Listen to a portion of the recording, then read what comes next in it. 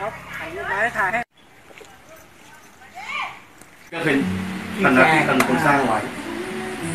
แปรส้มมุ้ยชื่อแปรส้มมุ้ยถ้าแปรส้มมุ้ยเนี่ยเปรียบเสมือนพ่อของไทกง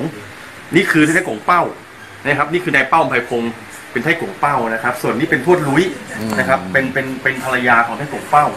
เป็นคนจีนเป็นแซ่เลยครับ เห็นเห็นพี่เขาเล่าให้ฟังครับ เป็นแซ่เลยให้ใช้แซ่เลยก่อนที่จะเปลี่ยนมาเป็นอัมไพพงศ์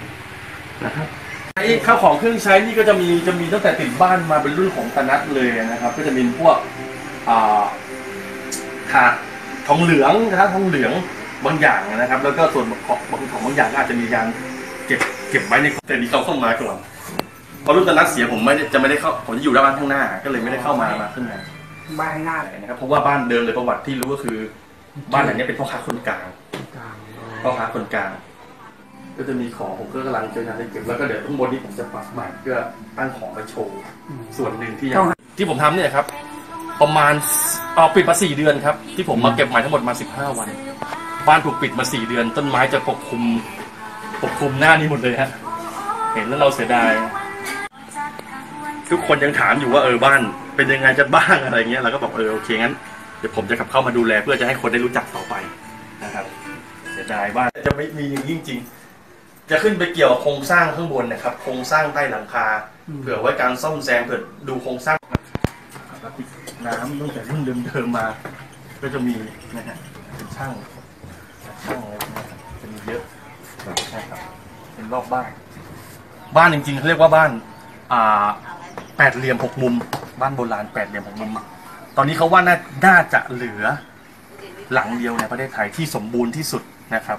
น่าจะเหลือหลังเดียวบ้านเนี่ยครับที่ที่พอสืบทราบมาถ้าเป็นไทกงไทกงเป้าเลยเนี่ยอายุตั้งแต่เกิดจนถึงปัจจุบันประมาณ 114 ปี ฉะนั้นบ้านหลังเนี้ย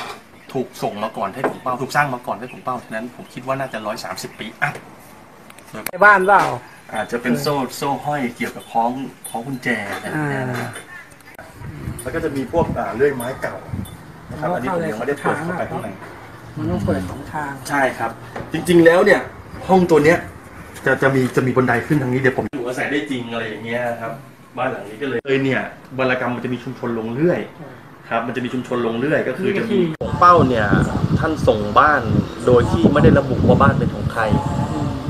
ก็คือ คือพูดง่ายๆคือเหมือนความคิดของคนสมัยก่อน เอาไปอยู่กัน ไม่ใช่ว่าของไอ้นี่นะของอันนี้ไม่ใช่เอาไปอยู่ดูแลกันไป แล้วก็มาก็แยกบางคนบางคนมองบ้านว่าเฮ้ยบ้านหลังเนี้ย ถ้าคนที่ไม่เขาไม่รู้ประวัติเขาจะมองว่า ต้องเป็นข้าราชการคนโตคนรวยสมัยก่อน จริงๆไม่ใช่คนอายุสักหกสิบจริง ๆ เป็นจ็ดสิบกว่าเป็นบ้านพ่อค้าแม่ค้าธรรมดาแต่เราเป็นเขาหลักนะเป็นคนกลางคือกลางซื้อมาขายไปจะชักคุณเอาของมาลงก็เราไม่ใช่คุณซื้อนี่ไป อะไรอย่างเงี้ยฮะ